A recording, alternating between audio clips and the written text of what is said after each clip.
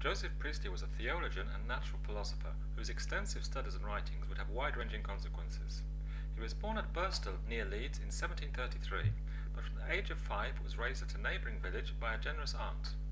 At the age of 29, when he accepted a position at Warrington Academy, southwest of Manchester, he had already studied at a Dissenters Academy, worked as a minister, and founded a school.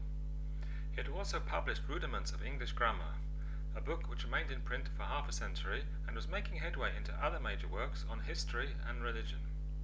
Three years later, he would decide to write a history of electricity, and this brought him into contact with Benjamin Franklin, the printer and author from Philadelphia, who, amongst his other writings on electricity, had famously proposed an experiment using a kite.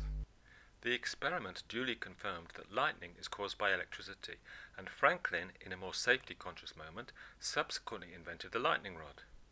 Two years later, Priestley moved to Leeds, which during the 18th century was a flourishing centre for the production of woolen cloths.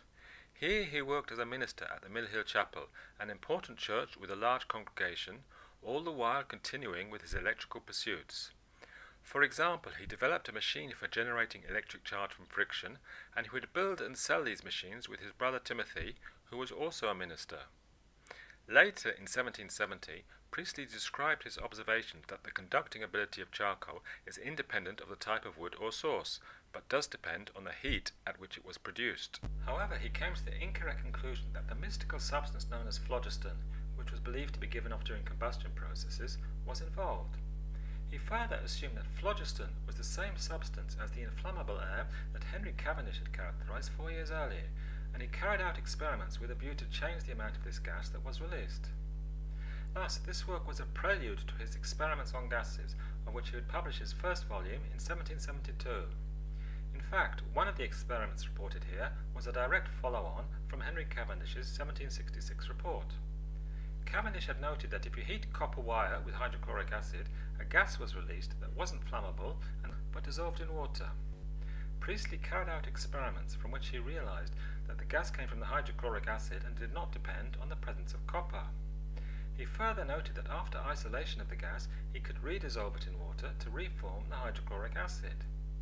These observations may have prompted him to optimize a method to dissolve carbon dioxide, then known as fixed air, in water to obtain a mineral water similar to that observed at the springs of Bad Pyrmont in western Germany.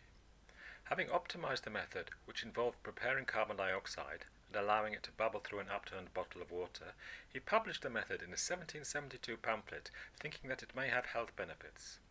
In particular, in the hope that it may alleviate scurvy, he dedicated the pamphlet to the Earl of Sandwich, First Lord of the Admiralty. Priestley also noted that an easier, although less effective way to prepare such a water would be to repeatedly pour water from one container to another over the vats of a public brewery, a method he had attempted in earlier years. Although Priestley chose not to patent his idea, seven years later an improved method was patented by Johann Schweppe, a German-Swiss watchmaker. Despite the best efforts of Schweppe, however, the soft drink company named after him only really became profitable in subsequent centuries. In the meantime, Priestley would continue his writings and become more well known for a variety of reasons, some of which will be described in due course on this channel. Thanks to the archive sources shown here and their contributors, and to you for watching to the very end. Hope to see you again sometime soon.